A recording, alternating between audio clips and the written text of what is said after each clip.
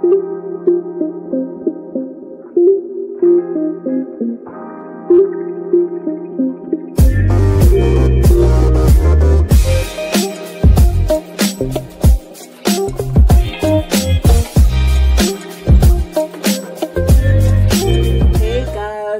Back to my channel if you're watching for the very first time. Hello my name is Staecha. I go by Namastae on Instagram. So you can follow me over there if you're interested in seeing what I'm up to in my day-to-day -day life and just to get a glimpse of my life um, as a Jamaican in Japan.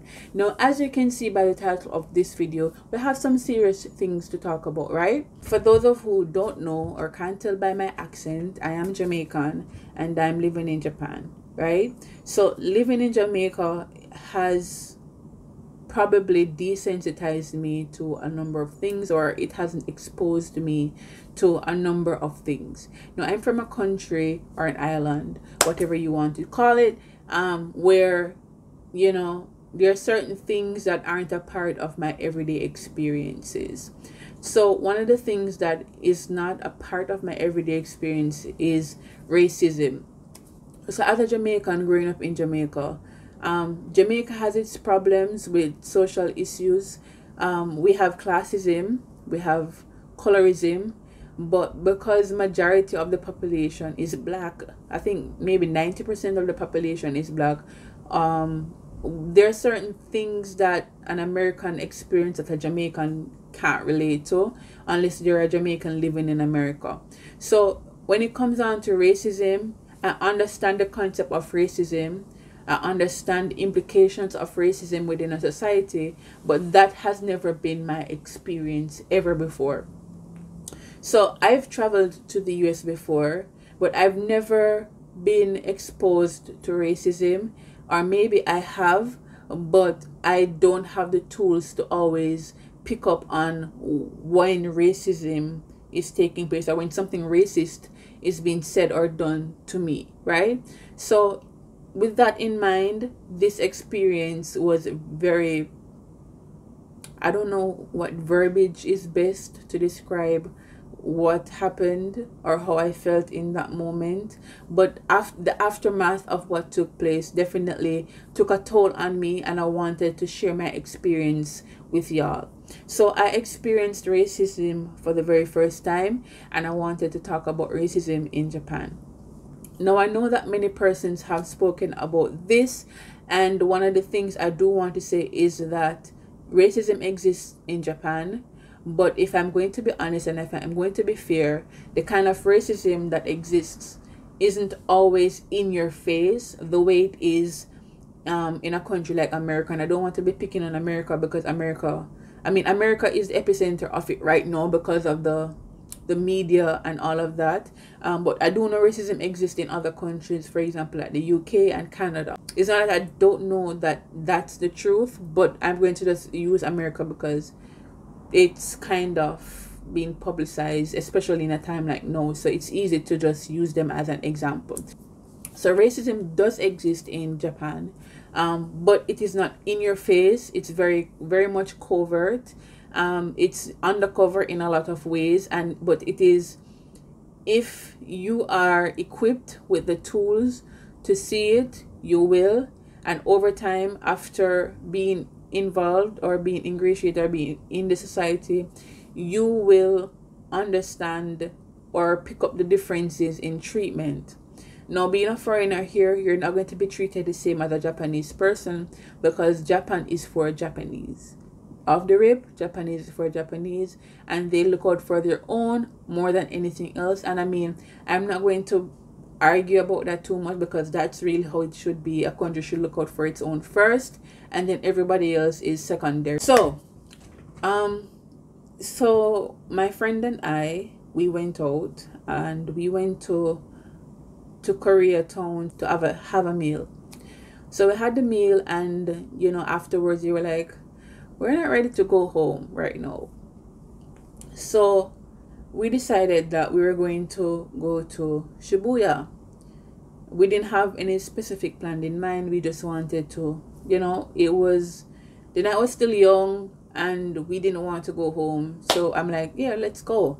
So we go to Shibuya and we we went to a, a, a English speaking bar, but we didn't like the options that were available in terms of the masculine variety.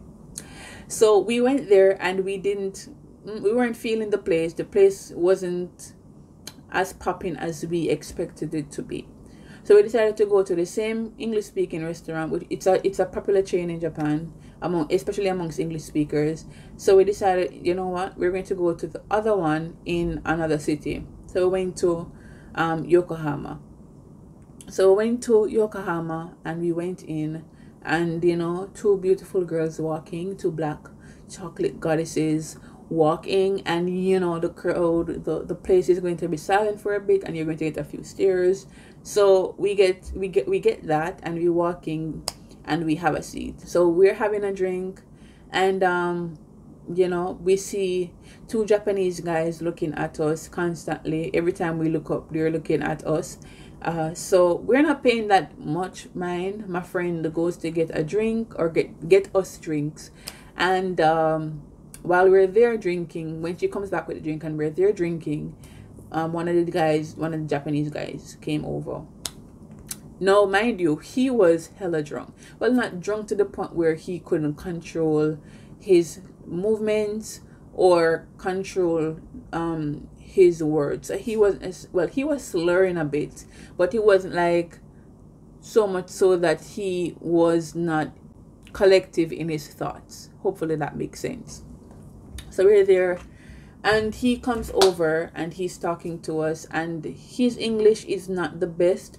So we were grappling for a few minutes to figure out what the hell was this dude saying, right? So he was there talking, talking, talking, and uh, my friend wore her Jamaican mask, and apparently he knows of Jamaica, and he was saying Shenseea is his favorite um reggae singer.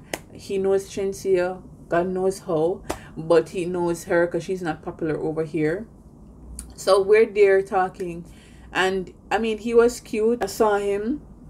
I was like, you know, yeah, him, him look he have a little buzz. Him, him cute. Him not look too bad. Um, so when he came over and he was talking, like the minute he, well, not the minute, but as the conversation gradually uh, progressed, the conversation gradually progressed, the interest level was like, hey, and then at some point I was like, hey, bye now, goodbye, your time has expired. So we talked and we talked or we attempted to communicate that that sounds better. We attempted to communicate and at some point he he leaves us and he goes to his other friend who was very very very cute by the way. Um so he goes to his friend and um leaves us for the night. So this other guy came came over. He was african but he wasn't black. He was from a country in africa Tunisia or one of those countries. I think that's the pronunciation. Yeah. So he comes over and he says to us, you know, he had introduced himself prior to the Japanese young man coming over to talk to us. Um, so he had introduced himself already, and I told him I was already with my friend, so I don't really need to to entertain him right now because I wasn't alone. So after a few drinks, well, after a drink, my friend and I um you know we were there talking and he came over again and he was he re- reintroduced himself and asked us if we wanted to go over to his table where he had a friend who was apparently retired. Now both of these men were white.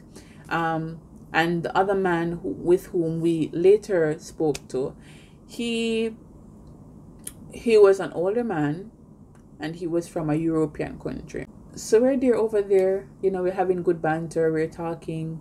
For the most part conversation is okay you know. We're getting to know each other's culture and stuff like that. He's asking about jamaica and we're asking about where he's from.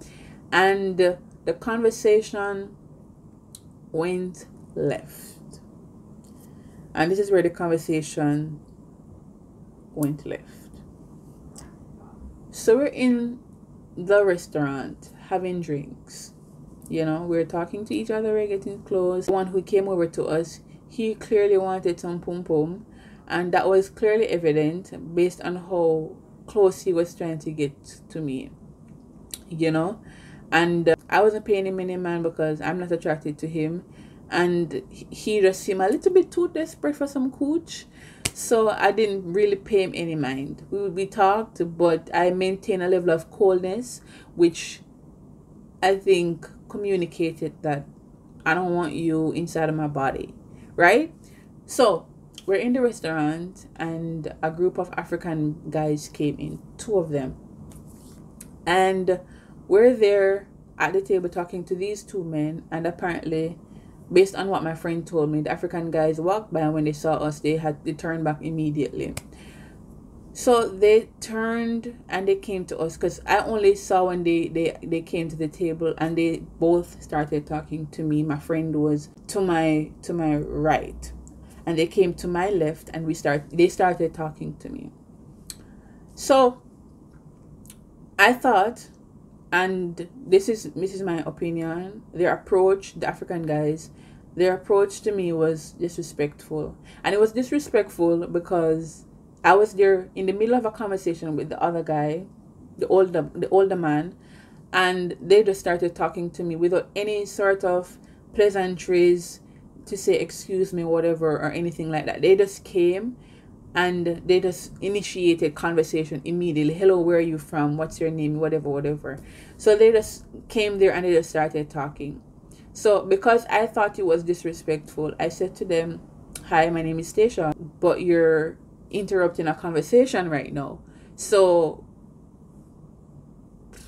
this ain't gonna happen, basically. So they were like, you know, apologetic. They're like, oh, I'm sorry, sorry, sorry. And then they walked off. So I turned to the older man and I said, I apologize for that. You know, and I apologize because it was rude. You don't just see someone talking to another person, male or female, and you just walk up to them and to start a whole conversation without acknowledging the other persons at the table. So, once I apologized for their behavior because I thought it was rude, homeboy proceeds to say, I call them monkeys.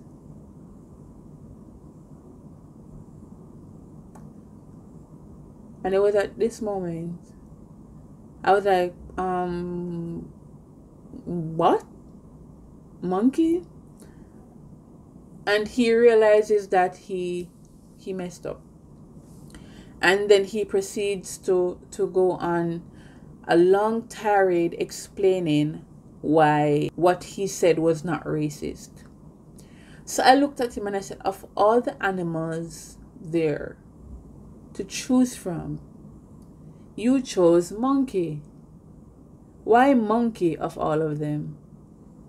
And he gives this half ass explanation as to why he says monkeys and all of them and proceeds to say that he doesn't call he doesn't only call black people monkey he calls other people's monkey just based on their their own actions and stuff like that so i i i, I thought it to be upsetting but also very interesting how it is that my friend and I, who are black people, could sit in his presence and he could be so gracious towards us.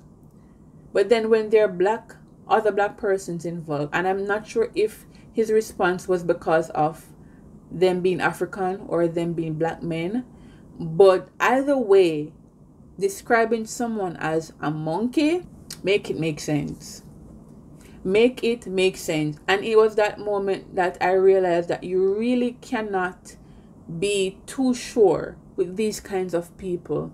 Because there are persons who will entertain you for whatever reason that they have but then the same courtesy that is extended towards you is not extended towards other persons who might be in the same ethnic group right? Or same race. That's what i should say so I'm there flabbergasted as to how I was in the presence of someone who thought the way he thought and felt confident enough in my presence and my friend's presence to say, I call them monkeys? What the fuck? Like, And I, I kid you not, the energy level between myself and my friend went from 60 to like zero in the space of a minute. Like he's there for five minutes trying to explain why what he said was not racist and i'm not yet convinced and i think he realized that because soon after he left i don't even know what to say because i've never been in a situation where i felt the need to to protect someone of my race in that way. No like i said their approach the, the black guys their approach was not respectful. But but but but but but but under no circumstance am I going to sit there and to entertain someone who is disrespecting anyone in my race, especially, especially when you are going to compare them to an animal that you know that's racist. That is not anything new to anyone right? And for centuries, people have been comparing black people to gorilla. And for you to open your mouth and to look at us and say, oh, I call them monkeys? Huh? I've never experienced, and I mean, it didn't directly happen to me, but I felt like it happened to me. And I don't know if there's such a thing as secondhand racism, but the fact that this is still happening in 2020 and I keep saying people like this is part of the reason why I I'm not interested in procreating because I can't imagine having a son or a daughter and have someone see them that way or to be worried about their safety and well-being because someone might say or do something on the basis of their skin color that takes them from the land of the living or does something to ruin their life emotionally or physically or financially or any way shape or form. Like i cannot imagine especially having nephews black nephews. For the entire night i just could not come to term with what happened it it was it was it was an experience that made me more aware of just how complex the idea of racism is. There are those persons who are outright racist and they don't like black people in general. It doesn't matter the hue, it doesn't matter if you're a woman or if you're a man, they just don't like you. But to add the layer of accepting some black people and not others for whatever reason, gender or nationality, whatever it is. Like, I was not expecting that because I'm thinking that if we are invited to your table, i.e., black women, then that's not the sort of thing I would expect that would come from your mouth because I'm expecting some level of sensitization and uh, can I tell you guys something? Like, I literally cried that night, and I know it might not come across as a big deal to some people, but it's a big deal for me, especially since I've never been in exp- been in an encounter where something like that was said to me or to another person, whether or not I knew them. Like, it was a big deal for me because I've never experienced anything like that, and to be in amongst someone for that much time and to find out that this is how you describe black people who you think don't act in a very polite way like no no so i wanted to talk about this because i wanted to let people know that racism is something that is clearly more complex than we than we think it is it is something that's clearly pervasive throughout the world and it's not just in Jamaica.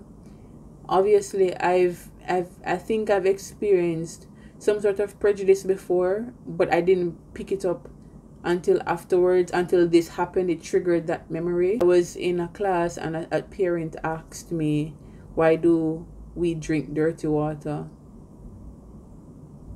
And I was like, who the hell told you that people in Jamaica are drinking dirty water? And I was like, huh? What? Like, that don't make no sense, or where where you get that from? No, I know that Jamaica is not the richest country, but um, it's called the land of wood and water for a reason. We're not over there drinking dirty water, or is it that the media over here, like much of the media rest of the world, portray black people as poor and impoverished so much so that you can fathom the idea that the water in Jamaica is actually that comes from the pipe. It's actually better than the one in Japan. By far. So I wanted to talk to you guys to let you know that even though being in Japan is it feels so much more safer than America or Jamaica, that doesn't mean that you're going to escape the difference in treatment that you're going to be given by virtue of being a foreigner and by virtue of being black. A lot of Japanese people who are decent human beings who don't treat people differently might not be able to understand. And I had to sit my friend, Japanese friend, down and explain to her that we aren't all treated the same. Like, even though you're cool with black people and you're cool with foreign people, that doesn't mean that every single person has that experience because I'm on the train sometimes and people don't want to sit beside me. That's an everyday experience. As soon as I get up, they sit down or or whatever, but that's an everyday experience. So you have to understand that while it's not in your face, it's very subtle, but it's there. And I mean, like I said, it's safer here than it is in America, UK, Canada, or Jamaica. But that doesn't mean that you are going to be excused from any differential treatment on the basis of not being Japanese or on the basis of being black, right? So I wanted to talk to you guys about this. I don't know if I overreacted. Let me know in the comments if you thought that I overreacted or if it's something that I'm overanalyzing. Um, I don't think so, but I want to hear what you guys think. In the meantime, I'm looking forward to what you guys have to say. In the meantime, thank you guys for watching. I'm not sure how long this video is going to be but thank you if you've made it this far. And um, let me know what your thoughts are in the comments bar below. Don't forget to like comment share and subscribe. We're trying to get to 500 subscribers at the end of september. So please share this video with a friend um, we're trying to get to 1000 by the end of 2020 so help a girl out. Like comment share subscribe. After you watch this go watch another video or two or three. Share on your instagram share on your facebook share on whatsapp. Wherever you can share it share it girl share it. Um but in the meantime thank you so much for watching and i will see you next time in the next video. Bye guys